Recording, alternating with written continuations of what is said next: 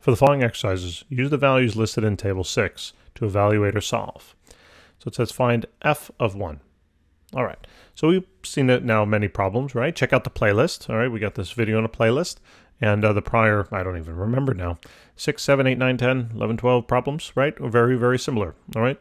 So, um, and every problem, well, I try might I try to maybe explain it in a different way if I can. Sometimes you know how many different ways can you explain a concept, but uh, just in case uh, you know a certain explanation connects or a certain explanation might not connect. It depends on who's who's viewing the video. Um, so what I try to do is I try to maybe explain with a different flavor, so to speak, in other videos. All right. So if one of these might seem a little confusing, maybe check out another one. I probably am going to explain it differently. All right, and that might be better for you. All right, it all depends on one's learning style. So, on with this. What is the, this is in English. This is basically saying, um, tell me the y value when x is equal to 1. Remember, all function notation looks like this. Okay? So, first, I do not like, whenever I see f of x here in like a table, I, if I see an x value here, I'm just going to cross this out and call it y. We've talked about that many, many times before. Okay? Just makes it easier. So I know here in this, what's given to me is x is equal to 1, and what they're asking then is what's the y value equal to? That's what they're asking in this question, okay? They told me x is 1. So all you got to do is go to the table, find where x is 1, and then you're literally going to say, well, what's the y value? Oh, it's 0, right? And, uh, and that's it. So f of 1 is equal to 0. It's that simple. Let's go to the next one. So why don't we do now maybe uh, the one right below it, okay? So now it says find the inverse function of negative 1. So what this is now saying is that f of negative 1, this is the x, and that's the y. Okay? The relationship between the inverse function and we can call it the original function is going to be as follows. The x is always technically inside the parenthesis, the y is always technically outside the parenthesis, but whatever y value this is, will be identical and the same as the x value inside of the opposite or the inverse function. Okay. Now I'm calling this the inverse function just because they started me off with the inverse function. In other words, this is the inverse of this, right? And if I took the inverse of the inverse here, I'd get back the original. Okay. It's almost like inception of functions, right? Great movie, by the way. Great movie. Um, okay. DiCaprio's amazing. Amazing. Anyway, so here's the x, right? The red x. So that's going to become now the new y value. All right.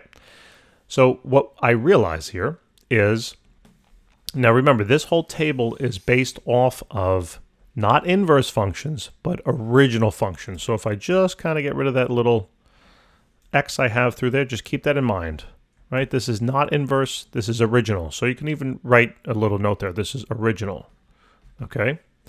Now, what they're telling us is this. It says find the inverse function when uh, uh, when the inverse function is x's value is equal to zero. So watch.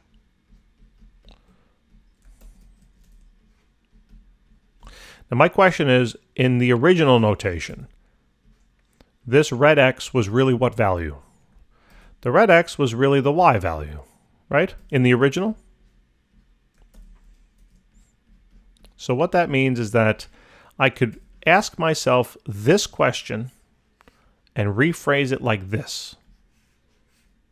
Okay, now the reason why I want to do that is because my table is in terms of the original function, not the inverse function.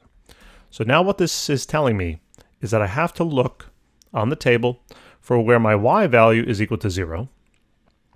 So where is the y value? Remember, I crossed this out, I said y. Okay, where's the y value equal to 0? So let me get rid of some of those highlights. The y value here is right there. Okay, and then the question is, well, what is now the new x value? Or what is the x value that correlates with that y? Oh, 1. Wait a minute, that sounds confused, right? Is, is it really that that's it? Yeah, that's it. That's the, this is it now. So the inverse function here, so then if this is x, then that was the inverse is y, right? So this is minus 1 of 0 is equal to, as we just said, 1. This is the answer. This is the answer, okay, for this question. Another way to view it is very simply like this. If you know that the coordinates here of the original function is going to be 1 comma 0, right? I'll write it over here. For the right, uh, original function, you had a coordinate of 1 comma 0. Then for the inverse function, all that's going to happen is that the values switch. Literally, the y becomes the new x and the x becomes the new y. So if you know that your x value here of the inverse was the original function's y value, that's why I went to the table and I said, where's that original function's y value? then I had to find simply the x value. Okay? That's all it is. It's that simple. All right? So let's move on to the next one. Let's run through these two now. Okay? So it says solve f of x is equal to 3. In other words, the y value here is equal to 3, and we got to find the x value. All right? So simply go to your table. Find where y is 3. Where is y is equal to 3? Boom, boom. Okay, there it is. Right? And then what's the x value? 7. So that's the answer. So f of 7 is equal to 3. Now notice what they're doing down here, right? They're giving you the inverse, and notice how this is the 7, right? So guess what? This old, this original uh, 7 becomes the y value, and then the original y value becomes the x value. So I already know the answer, right? This is f minus 1 of 3 has to be equal to 7. We're just switching the points. That's it. That's all it is, okay? The coordinates of this function is going to be the x value is 7, the y value is 3. So then that must mean the x value is 3 here and the y value is 7. And that's exactly what this is, x and y, boom, boom, boom, boom, boom.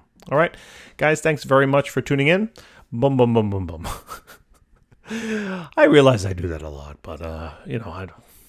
For some reason, it makes it easier, right? If you say, oh, all it is is boom, boom, boom, boom, boom. Wow, simple. Okay.